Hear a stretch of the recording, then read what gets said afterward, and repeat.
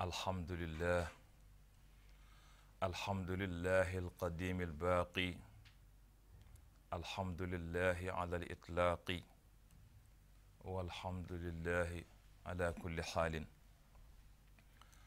اللهم يا ألف صل على الباء ونقطته وشكلته صلاة تعرفنا بها إياه. Chers frères et sœurs en islam, أحييكم بتحية الإسلام ألا وهي السلام عليكم ورحمة الله تعالى وبركاته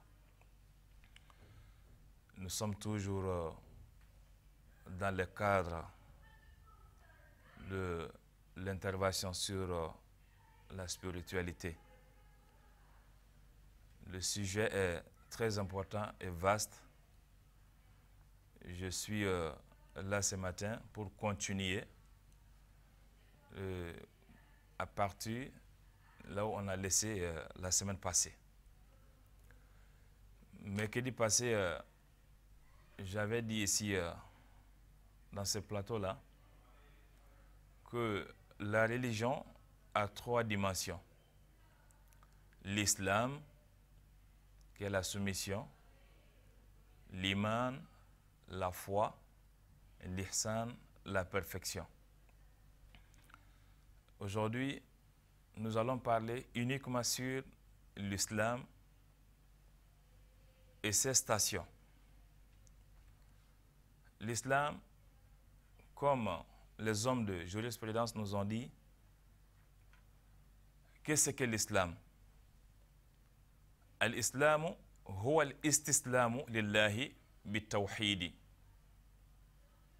wal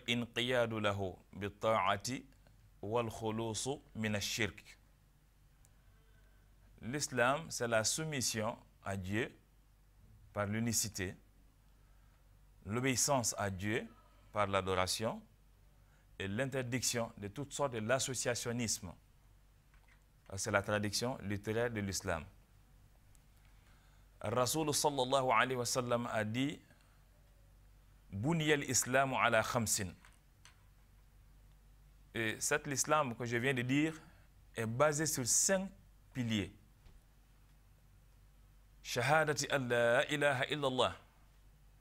Attester qu'il n'y a pas de Dieu que Allah. Il est unique, il n'a pas d'associé. Wa anna Muhammadan abduhu wa rasuluhu. Attester que Muhammad, paix et salut sur lui, est son serviteur et son messager. C'est le premier pilier de l'islam. Deuxième pilier, wa iqami salati, accomplir les cinq prières quotidiennes. Wa ita'i zakati, donner le monde légal. Wa sawmi ramadana, jeûner le mois de ramadan. Wa hajjil bayti, faire le pèlerinage. Liman istata'a ilayhi sabila si Allah subhanahu wa ta'ala a donné le moyen, qu'Allah nous facilite cela. Ça, c'est les cinq piliers de l'islam. Maintenant, l'islam a trois stations différentes. L'islam seul. Je ne suis pas encore rentré dans l'iman.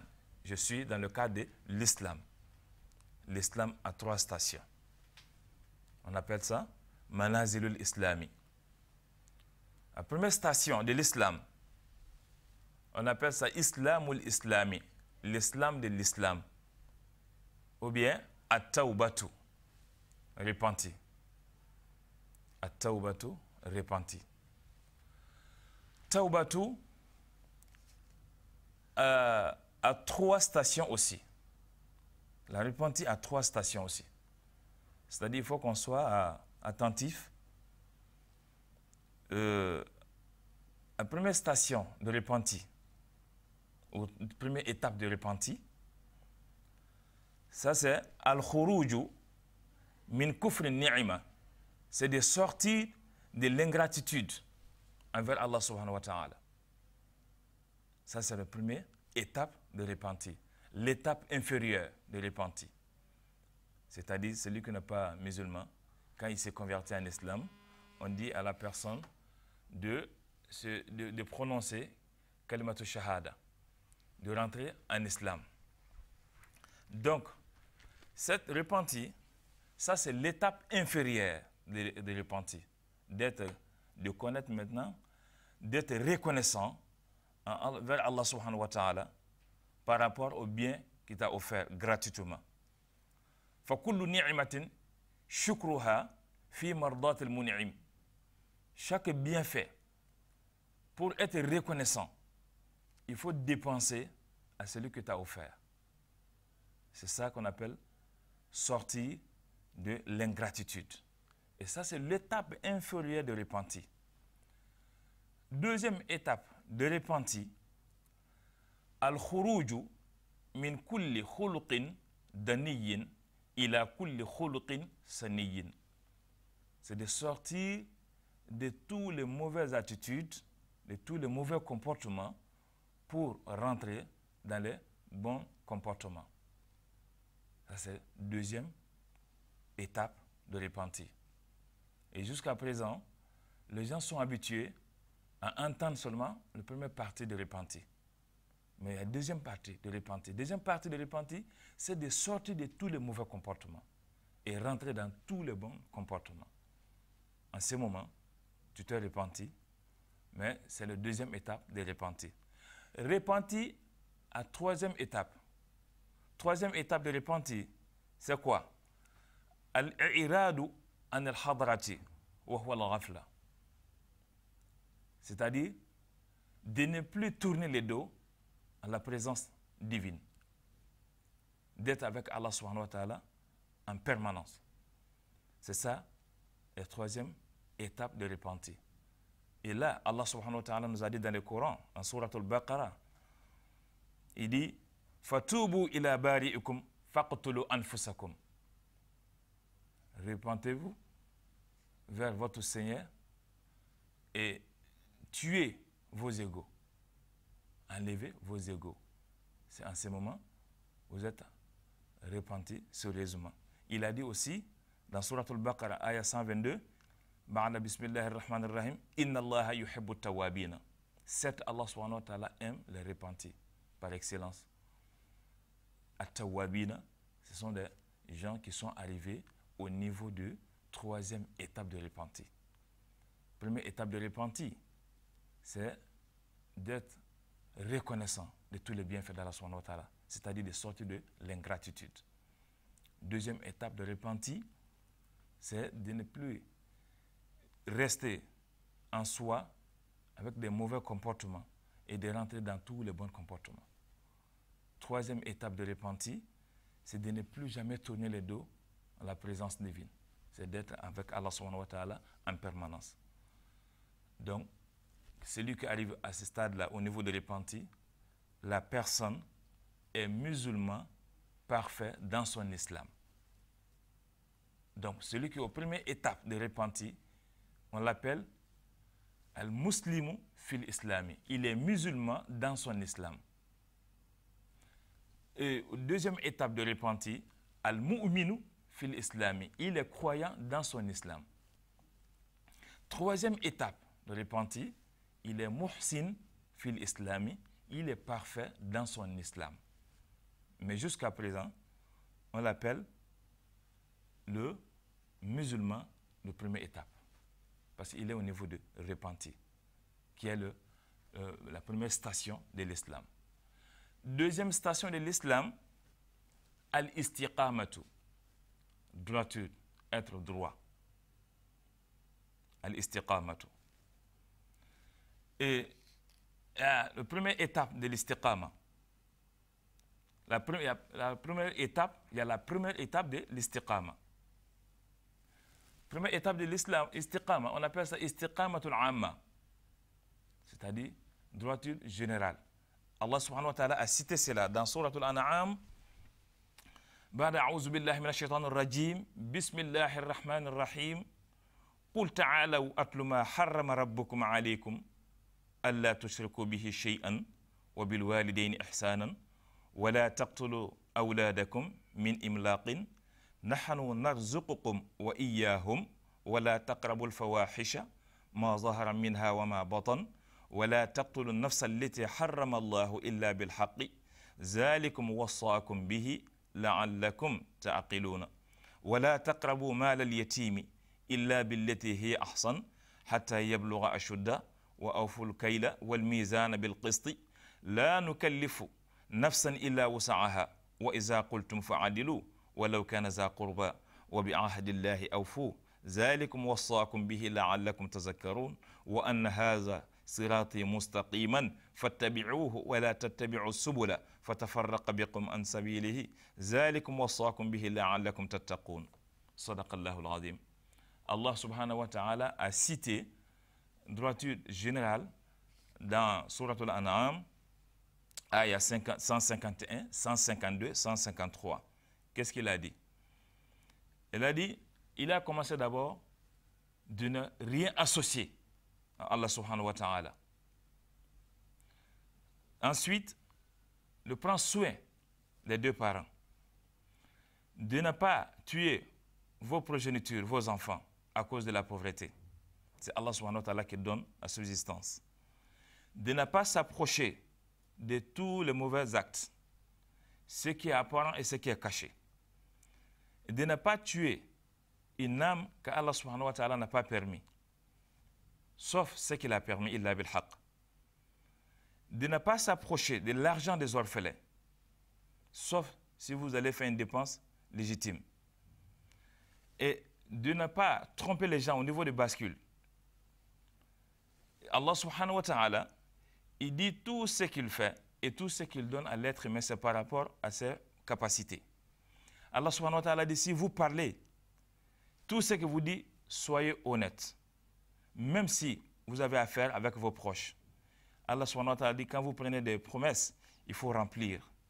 Il faut respecter vos promesses. Allah subhanahu wa ta'ala dit, ce qu'il vient ce qu'il vient de nous dire, c'est ça la voie, le chemin droit.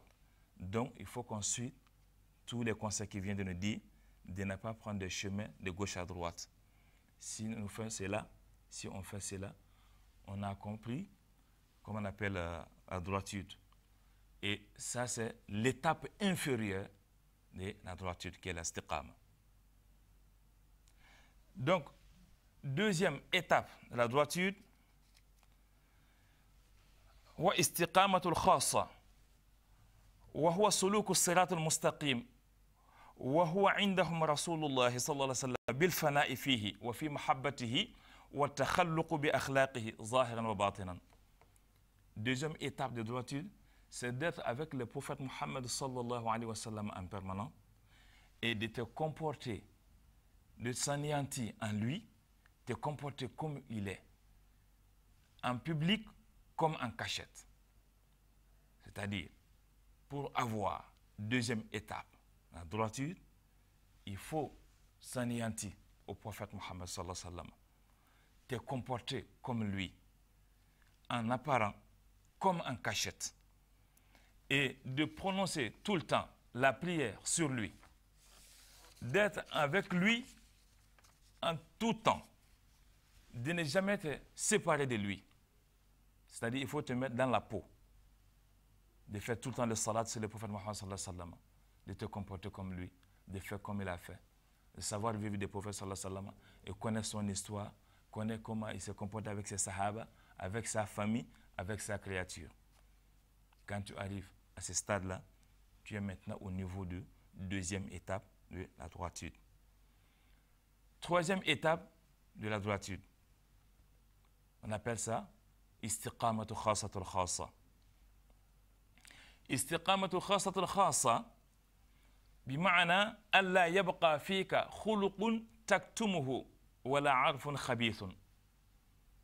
pour être en troisième étape de la droitude, il ne faut pas que tu caches quoi que ce soit en soi comme mauvais comportement.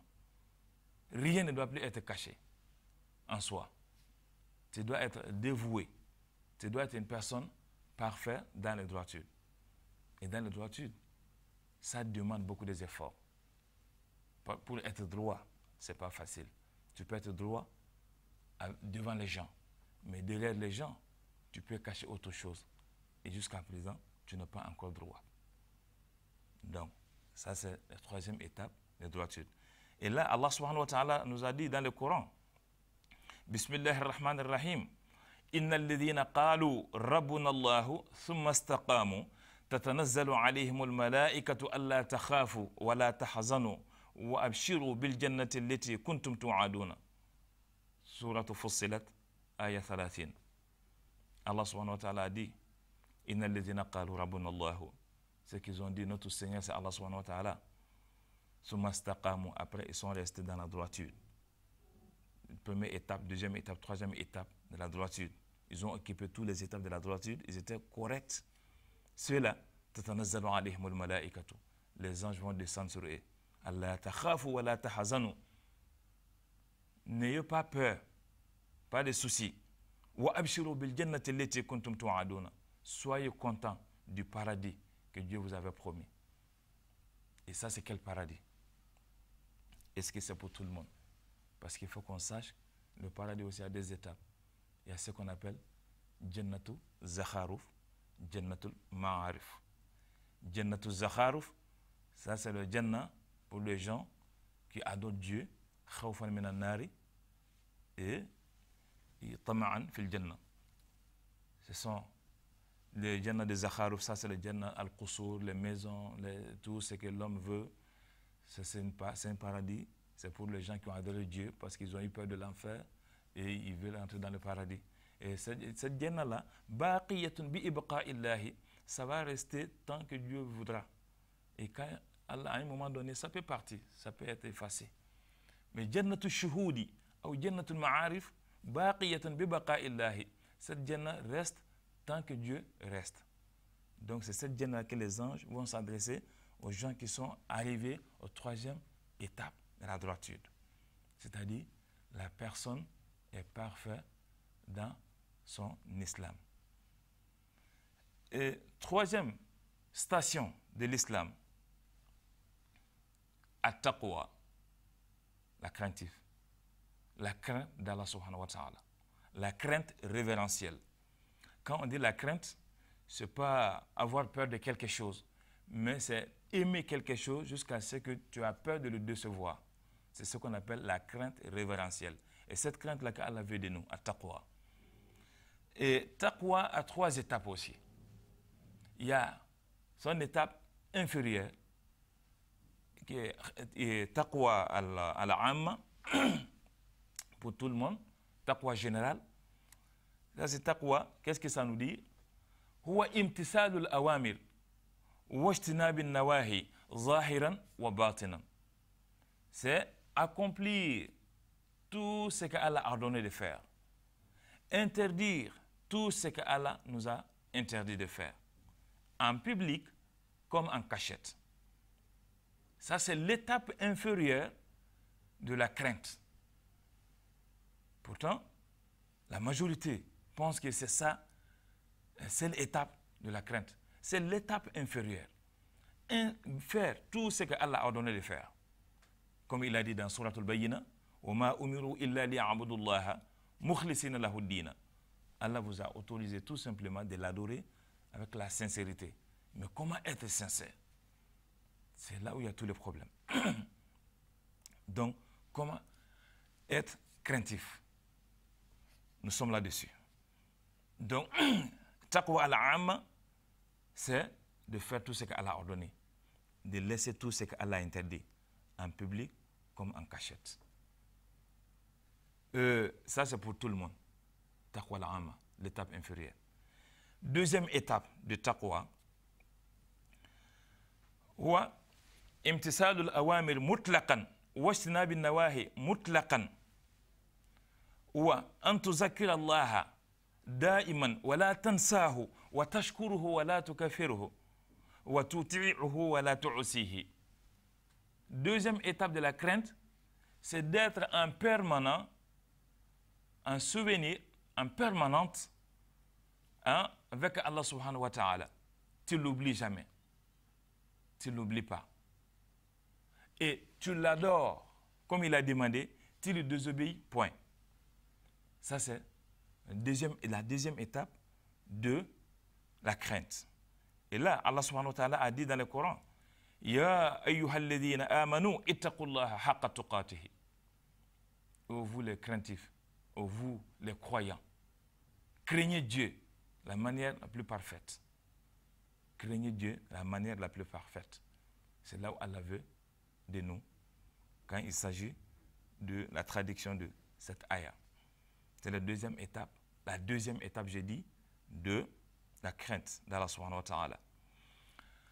La troisième étape de la crainte d'Allah subhanahu wa ta'ala, qui est la troisième station de l'islam, martabatul amma wa huwa taqwa khasatul khasa. La crainte d'Allah subhanahu wa ta'ala pour les élites des élites. بمعنى عدم خطور سوى الله بالخاطر ولو لحظة c'est de sentir autre chose même un seul instant qui n'est pas Dieu c'est-à-dire de constater que autre chose peut exister qui n'a pas Dieu ça c'est la troisième étape de la crainte d'Allah subhanahu wa ta'ala celui qui arrive à ce stade là on l'appelle at-taqiyyu Allah subhanahu wa ta'ala a dit Fattaqullaha mastata'atum. Craignez Dieu en fonction de vos capacités. Allah connaît la capacité de l'être humain. C'est pour ça qu'il a dit. Il sait très bien qu'on peut arriver à là. Il peut arriver à ce stade-là. Et qu'est-ce qu'il a dit aussi là-bas? Il a dit Ya ayyuhalladhina amanu ittaqullaha haqqa tuqatihi wa la tamutunna illa wa antum muslimuna. Ô vous les craintifs, vous les, ô vous les croyants, craignez Dieu de la manière la plus parfaite. N'acceptez pas de mourir sans être musulman. L'islam ici, Allah subhanahu wa ta'ala veut s'adresser à nous, il veut nous dire d'être arrivé à la troisième station de l'islam, qui est at-taqwa. Le musulman, pour être musulman parfait, il faut qu'il arrive à la troisième station de l'islam, qui est la taqwa. Et à la troisième aussi étape de taqwa. Ça, c'est quelle étape? Ça, de ne rien sentir qui n'est pas Dieu, rien constater qui n'est pas Dieu. Tu dois savoir maintenant, il n'y a que Allah subhanahu wa ta'ala.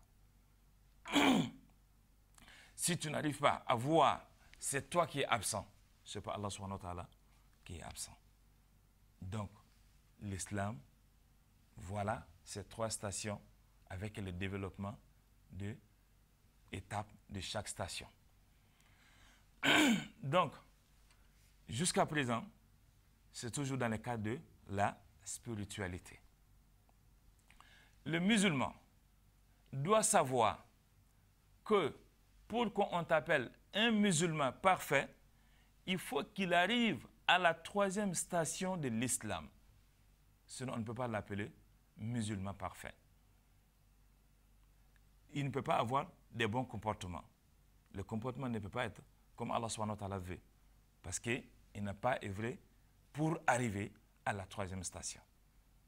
Donc, pour reprendre un peu ce qu'on a dit, je dis dès le début que la religion a trois dimensions. J'ai cité les trois dimensions. Aujourd'hui, j'ai repris, j'ai commencé par l'islam. J'ai cité les trois stations de l'islam. Repenti, l'iman, la foi, euh, comme on appelle, la taqwa, la crainte révérentielle. Et chaque station, Taouba a trois étapes. On a cité les trois étapes avec les ayats du Coran. Al-istiqamat droiture a trois étapes. On a cité avec les versets coraniques.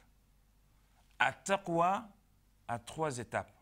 On a cité avec les versets coraniques. Si quelqu'un n'a pas compris ce qu'on a dit, Alhamdulillah, la porte est ouverte.